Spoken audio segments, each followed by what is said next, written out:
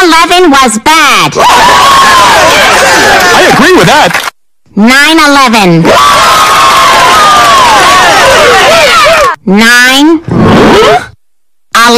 9-11.